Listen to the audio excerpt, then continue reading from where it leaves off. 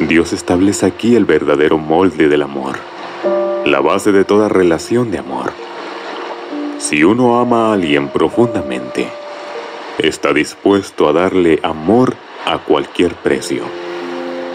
Dios pagó con la vida de su Hijo el más alto precio que se puede pagar.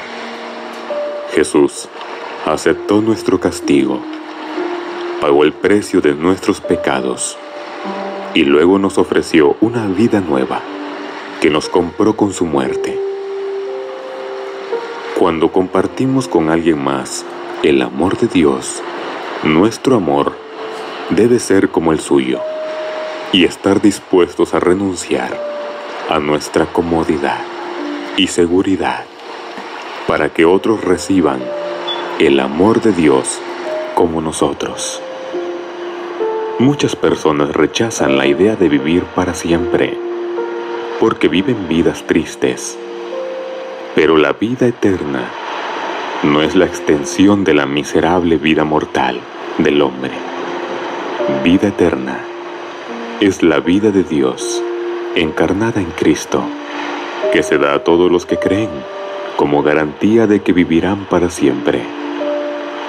En esa vida no hay muerte enfermedad, enemigo, demonios, ni pecado.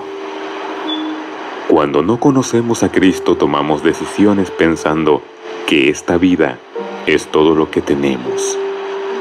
En realidad, esta vida es solo el comienzo de la eternidad.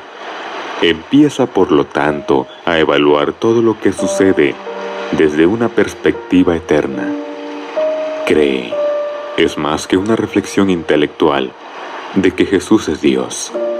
Significa depositar nuestra confianza en Él, que es el único que nos puede salvar. Es poner a Cristo al frente de nuestros planes y nuestro destino eterno. Creer es confiar en su palabra y depender de Él para cambiar. Si nunca has confiado en Cristo, Haz tuya esta promesa de vida eterna y créela. Muchas veces la gente trata de salvarse de lo que teme, poniendo su fe en cosas que tienen o hacen.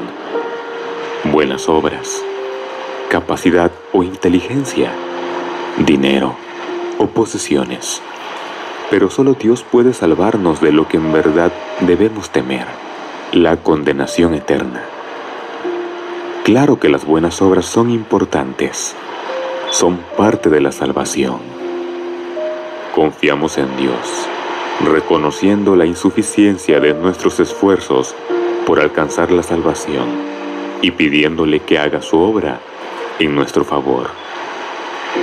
Cuando Jesús habla acerca del que no cree, se refiere a quien le rechaza por completo o hace caso omiso de él no al que tiene dudas momentáneas. Así que si has dudado alguna vez, hoy es el momento de reconciliarte con Dios. Dios te bendiga.